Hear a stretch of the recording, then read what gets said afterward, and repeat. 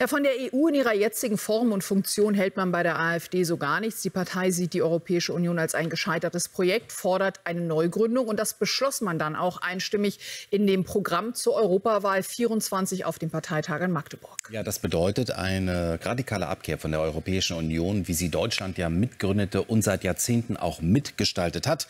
Und damit setzt sich vor allem Co-Chefin Weidel gegen den rechtsideologischen Kurs von Thüringens AfD-Chef Björn Höcke durch.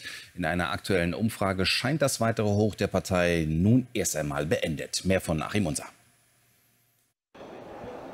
Eigentlich hält auch der Spitzenkandidat für die Europawahl nichts von der EU. Doch die Radikalität aller Björn Höcke, der sagt, die EU muss sterben, könnte Wählerstimmen kosten. Deshalb will die AfD die EU nun als Staatenbund neu gründen. Das klingt harmloser.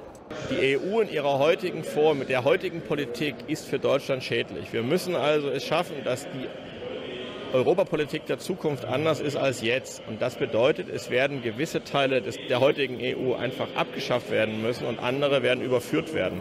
Dass Deutschland als Exportnation ganz besonders vom EU-Binnenmarkt profitiert und Handelshemmnisse bei einer Auflösung den deutschen Wohlstand gefährden, lässt die AfD nicht als Argument gelten.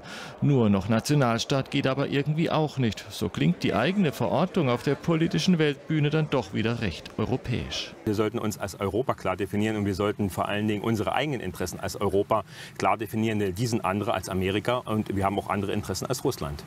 CSU-Chef Söder fordert keinerlei Zusammenarbeit mit der AfD und warnt vor deren Europaprogramm. Eine Kooperation mit der AfD kommt, egal wo, nicht äh, äh, in Frage. Die AfD ist eine radikale Partei. Die AfD will raus aus der Europäischen Union. Höcke sagt, die EU muss sterben. Und sie möchten im Prinzip raus aus der NATO.